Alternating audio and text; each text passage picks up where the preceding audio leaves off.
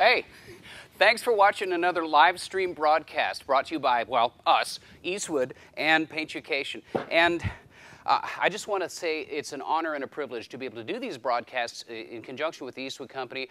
Both of our agendas is to share information. It's to get product information out there and create the situation to where if you're using this stuff for a first time, your first time out, you have success with it. So, um, and possibly if you're a veteran, if you're a hobby guy that's got some some uh, experience under his belt, maybe we can also empower you and show you some new tips and tricks, which we're going to be showing you a bunch of stuff. Today's live stream, we're talking about fillers, Bondo, aka polyester surface enhancement material. Um, there's a ton of them. We get questions all the time on the online restoration forums as well as uh, in different ways. People come up to me at shows and people come to the Eastwood showrooms and they say, what should I use and where should I use it? I've got three different circumstances. There's 15 different types of fillers. We're going to walk you through a lot of it. Real quick, we've got flexible fillers. We've got uh, short strand fiberglass fillers. There is a aluminum filled filler, your standard body fillers, and glazing putties. And what I consider to all still be a filler because it's still part of the shaping and contouring process is polyester uh, high build filler. It's a wonderful product and it's your last chance to really enhance that surface. So we're going to be talking about it, not spraying it today, but talking about its importance. As well as, you know, there's different catalysts for different things and you've got to keep that stuff straight. So why did I have my filler on the shaker? okay, I had it on the shaker because of this. Check this out, Ken Dive Deep. Camera guy Ken is an awesome videographer. Can you see that in there? This is resin technology. That stuff floats to the top. This is not anything bad about the product. It's it's the nature of the beast. The resins separate. This stuff might sit on a shelf for a while, and it might sit, you know, in a UPS truck for a while. This stuff separates. So that particular shaker doesn't agitate to where it's going to aerate. By aerate, I mean add bubbles. It agitates where it'll actually shake the bubbles out, and it will intermix your uh, your your uh, resins that are going to float to the top brain fart, and, uh, and, and get it ready for you to, to uh, apply. So anyway, we're also going to be talking about different methods of blocking, different blocks, and my three recommended grits of sandpaper for shaping, 36, 80, and 180. And we're going to walk you through circumstances where you might need a different type of filler. For instance, this sail panel here is a factory leaded seam. We're going to talk to you about what to put in there to properly mimic without having to fuss and muss with the lead. And uh, walk you through a dent demo. This is just an old Ford Ranger fender, and I've dollied out a dent right here, and we're going to walk you through the process of that, as well as different sandpapers and great ways, tips and tricks on how to master the technique of body filler. It's not all about how, it's about what more. But um, I wanted to talk about filler. In the mid 50s, uh, leading, up until the mid 50s, leading seams was, was standard automotive repair. And it, it takes a real craftsman, guys like Gene Winfield, uh, that, are, that are still um, craftsmen when it comes to leaded seams. And, and uh, it's, it's a real interesting uh, art form. I call it an art form because uh, you can do so much with it. In the mid 50s, fiberglass or polyester fillers, which is basically plastic, took the place of lead and kind of took the industry over. And just because of the way technologies grow and morph uh, and the way people have the tendency to use the old technology techniques on the new technology, and this transfers through paint as well. So Bondo, which is a brand name, filler, polyester filler, got a bad name. And it's just it's one of those things that it hasn't really shaken. And you can, you can do this. It's a lifetime repair if you do it properly. But if you abuse it, well, uh, yes, you can have a failed uh, filler. For instance, here, right here. That, if you grind that down and fill that in, you're going to have a half inch of body filler there. Not good. Call the plastic abuse hotline. That's not how to use body filler. You're not making soap sculpture here. It's not like lead where you, it doesn't tolerate the massive thicknesses because it will shrink and it'll crack and it'll separate and delaminate and all that kind of stuff. Moreover than, than using it as a particular filler, you want to use it as a surfacer. And by a surfacer, I mean don't fill holes like that in fill minor imperfections like that in. So change your philosophy on what you think Bondo is all about. Now, the circumstance where you'd need a polyflex, something like this, is if you're on, on a very flimsy uh, urethane bumper cover and you know that it's going to be flexed, either reinstalling it on the car or that it flexes on the car. Now that's a nice filler when it comes to that circumstances. But if you put that on and you don't put a flex agent in your, surf- your primer surfacers on top of that, you may end up still with a cracking issue. The Contour short strand body filler is very nice. It's just that. It's short strand fiberglass impregnated filler. It's a great product if particularly if you're working on fiberglass and you want to crispen up edges and, and gap your panels and things like that. I use it all over on Jaded. It's a nice product. Now, I've learned that this is not necessarily the thing to use on a sail panel like on our on our Z sled.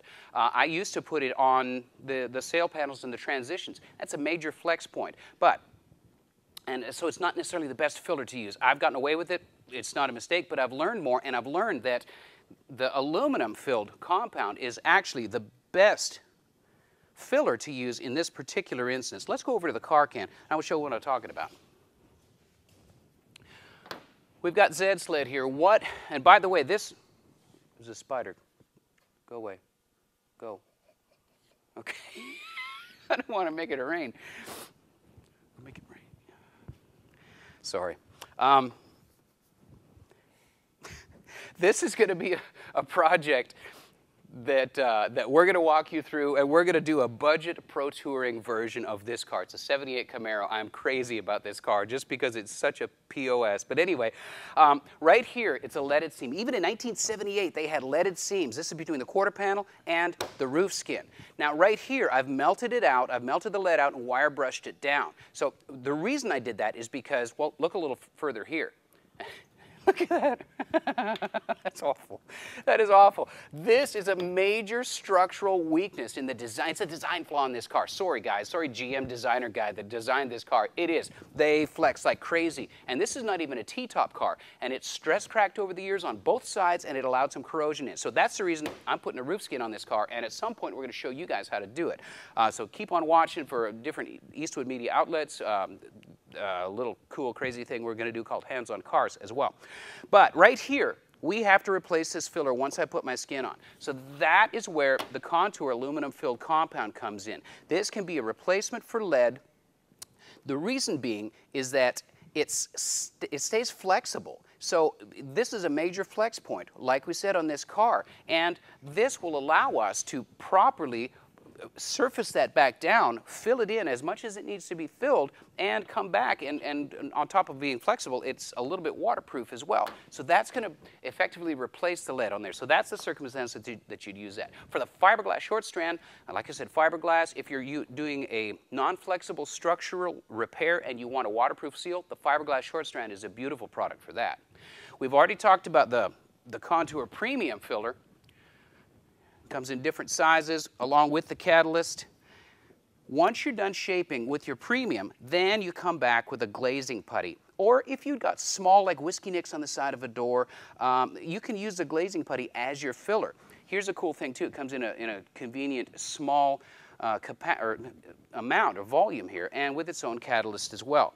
The beauty of this, unlike this, it, can you? Yes. Should you? No. This you can wipe it over top of a of a prepped painted surface, and you can get away with it. That's what it's formulated for. It's a very fine talc. It's what wipes smoothly, and uh, it's a great product for not only finishing off this, but if you've got small minor repairs, then you can wipe over top with a contour, blend your repair into the surface, and really, really crispen it up and make sure the contour and the crown is correct polyester primer surfacer. I cannot say uh, enough about this. I was talking to somebody at a Media Blasters the other day about back in the day in the 80s when everybody used to use Featherfill. Featherfill was a great pro, uh, product, but brutal, horrible to use. Polyester surfacers have come so far since Featherfill, and Featherfill is still out there, but man alive, it's been reformulated a bunch of different times, and it's still it's it's grown and evolved as its own product as well. But I really like the Contour because it. Uh, It, powders nicely. It's easy to apply. The viscosity is not an issue, and uh, and it doesn't ever shrink. It doesn't ever shrink. It'll tolerate massive film thickness. And the truth is, it's the last opportunity that you're going to have to really straighten out your body panel. So this, to me, has become my last stage of body work. There's there's a dividing line between uh, shaping and prepping. The shaping is using fillers. That's getting your surface up. And that's what, that's what polyester surface and filler is, is about. You're shaping. From about 220 grit forward up until 2,000, 3,000, 4,000 grit, well, then you're prepping. Or you're prepping from the top down to buff. But that's your dividing line. So two, uh, 220 grit and up, we're not talking about filling anymore. That work should have already been done. So keep that in mind when you're figuring out what, what type of sandpaper to use. Speaking of sandpaper, here's what I recommend to block filler. We've got 36, we've got 80 grit, and we've got 180 you can fine tune, you can pick and choose, you can use 60, you can use 120, it doesn't, whatever's available. 40, not much difference between 36 and 40, but to me, 36, I want to go to town, I want to get it done, I want to get my shape established. So I like to use a very aggressive 36, uh, and then follow that with 80, and then follow that with 180, and then I'm ready for primer surfacer or contour poly. So there's all kinds of great equipment that you can get to block with. There's these DuraBlocks, different shapes. The soft sanders, which I've become particularly fond of with all the different shapes, uh, contours, these are all already mapped off of existing vehicles, so you can match your shapes up to, to different areas. It's a nice product to use. And then you can make your own. You can use radiator hoses. You can use uh, paint stir sticks. You can use all kinds of stuff to, to create your sanding blocks. Um, so let's, uh, let's fix a dent, shall we? Okay. Right here, what I've done is I've hammer and dollied my, my, my damage out, and, and I'm reasonably happy with that. How do I know that it's flat? Well, I can run my hand up it. It feels a little bit lumpy. But, and Ken, I don't know if you can shoot up with this or, or shoot down on it, but basically what I do is I'll get a straight edge, and I'll run that straight edge down, and I'll look. And if I see daylight under there, or if it's rocking, then I know that I need to hammer and dolly a little bit more. So a straight edge like this, even a wooden paint stir stick or something, will help guide you and let you know exactly where your panel sits and if you're ready for filler or not. So that's just have a straight edge around. It'll, it'll it give you a little more confidence when you're applying filler because the last thing you want is to block down through and have to pound an egg down and, uh, and change the whole structure of your repair. So we're ready for there. Also, want you to note that I'm prepped around it. I've prepped with 36 into 80, and I've prepped around it. Jackie Carter showed me that technique a long time ago. Carter, if you're watching, thank you. Um, basically, what it allows you to do is you don't, you, you can wipe past your repair.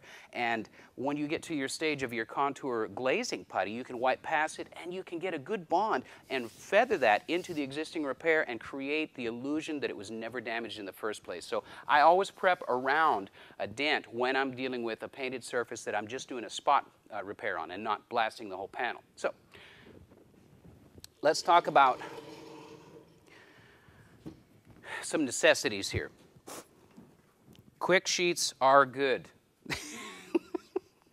we like quick sheets. They are good. What these do is allow us to uh, have a clean slate. I'm not walking around looking for chunks of cardboard. I just peel the sheet off when I'm done and I move on to the next sheet. Uh, if I need to mix more than is going to fit on, on the quick sheet, then um, I'm probably going to mix it onto the roof of the vehicle or something like that. So, so we don't, this is a nice size. It's, it's really good. Gloves, why am I wearing gloves? Well, because I don't want to wear the filler off of my fingers. Also, it will wick the moisture out of your hands. It'll crack and all that kind of stuff, especially in the summertime. Uh, we've got some spreaders we're going to talk about and all kinds of groovy stuff. But first, let's get some filler and wipe it on.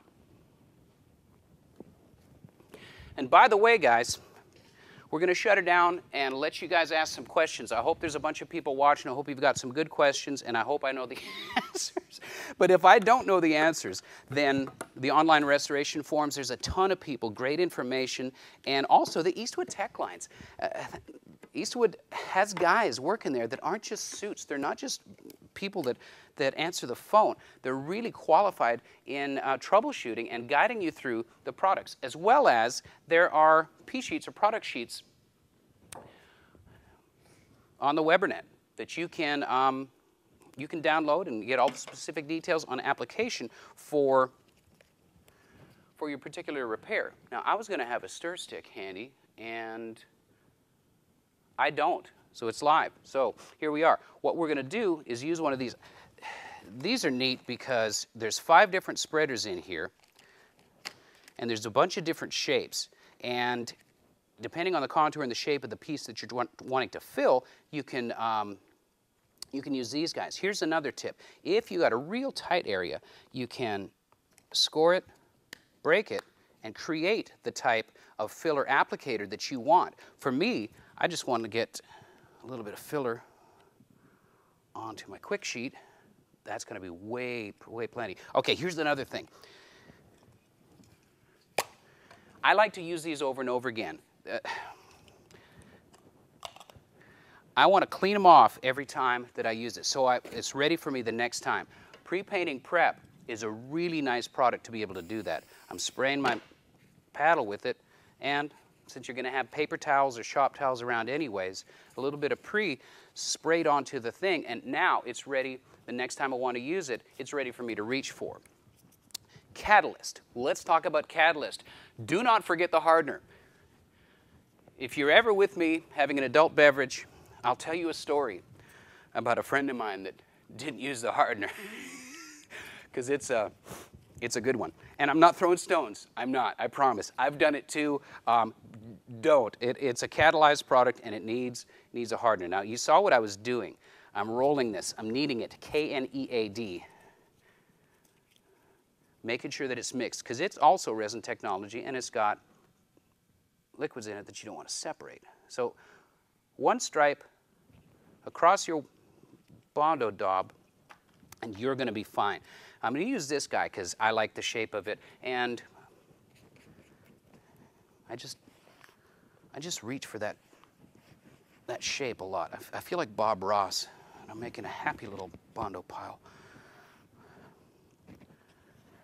The Premium filler that I'm using is a great direct to metal. It's a DTM. Get used to that phrase because you're going to need to know the difference.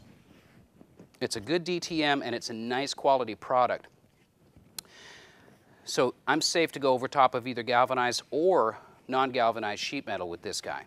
And if you ever have any questions about it, you can put premium or any other type of filler over top of epoxy. If you've got a, a vehicle media blasted, you've epoxied it, you can go as long as it's within a 48-hour window, I believe. Maybe, maybe. Uh, bust me on that, guys. Um, you know, we can. Uh, maybe Matt can have that tech sheet ready. It's, it seems like it's it's three or four days that you can apply filler over top of epoxy without uh, without it being a a problem. Or then, you know, if you exceed that window, you got to scuff it up again, reapply the epoxy, and apply your filler. Or just scuff it up again and get down to the metal. All right, here's what we're doing. Now, I'm not going for any kind of a contour here. My first initial wiping is just to establish, it's like a primer. It's just to establish kind of a communication between the panel and the filler. So I'm making sure that I've got, I'm not trapping any air pockets or air bubbles, and, and that I'm ensuring that I'm going to have good adhesion between my filler and my panel. Look at the thing flopping around in my hand. I'm not using hardly any pressure at all. Fingertip pressure. Fingertip pressure. I'm trying to ask this stuff to go where I want it to go instead of pushing it around and bullying it into the places that I want it to be. And I want to make the point of the fact that I'm not in a panic here. I've had time to talk to you guys. I've had time to look at my panel. I've had time to clean up my edges, get my stuff off the outside edges, and really focus on the shape that I'm trying to create here without freaking out. Eh, there's a tendency to think, oh my gosh, it's going to kick, it's going to kick, it's going to kick. And it is at some point. And my point is that you got time to do it properly. You got time to do it effectively. Now I can actually gauge here. Okay, see now we're starting to kick. We're starting to get a little bit a little bit firm. Now we're about like cold cookie dough, and I'm not going to eat it. Okay. And again, not a bad idea to put the lid back on your filler using the pre-painting prep. Clean off my spreader while I'm talking to you. I've been introduced to some great techniques by people that I've been blessed and fortunate to work with. One of them I'm about to show you.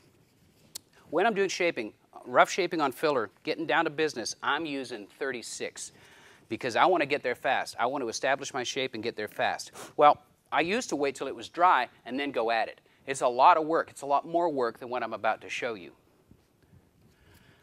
Basically, what you're doing, listen, listen. You hear that? It's smucking. It's not ready yet.